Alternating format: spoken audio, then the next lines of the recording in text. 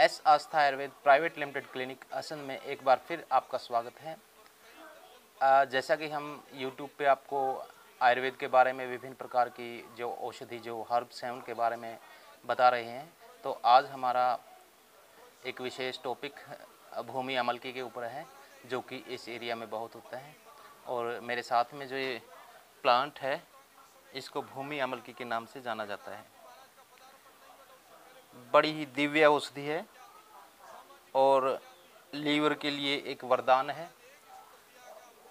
जिनको भी hepatitis B C या अन्य जो वायरल जो इन्फेक्शन होता है लीवर का, उसमें इसका प्रयोग किया जाता है। ये भूमि आमलकी का पौधा है, या फिर कह लीजिए एक दिव्य औषधि है। अपने एरिया में ये लगभग हर जगह मिल जाता है, जो कि वर्षा ऋतु से स्टार्ट ये पौधा उत्पन्न होता है और गर्मियों तक ये सूख जाता है। इसका इंग्लिश में इसको फिलेंथस निरूरी या यूरिनेटा के नाम से जाना जाता है और इसके जो विशेष पहचान इसकी क्या होती है कि जैसे हम पत्ती को नीचे से देखते हैं इसकी तो छोटे छोटे आंवले की तरह के इसके फल लगे रहते हैं इसमें। ये आप ध्यान से देखिए, ये जो लाइन लगी है, ये ये छोटे छोटे फल हैं इसके। तो इसकी जो मेन पहचान है यही है।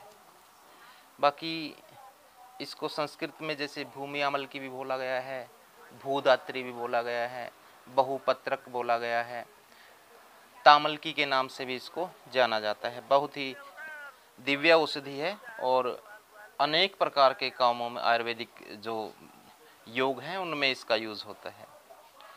वैसे ये तिक्त और कसाय रसयुक्त होती है। और इसका जो वीर्य होता है, वह शीत वीर्य होती है।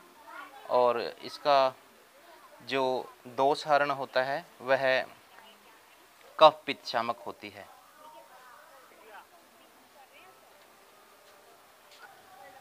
ये देखिए, इसकी पहचान, इस पर जो ये, इसकी पत्ती है, पत्ती को अगर हम पीछे करके देखते हैं तो इसके पीछे ये फल, इसके छोटे छोटे फल लाइन में लिखते हैं। इसी से इसकी पहचान हो जाती है कि ये भूमि, आमल की है।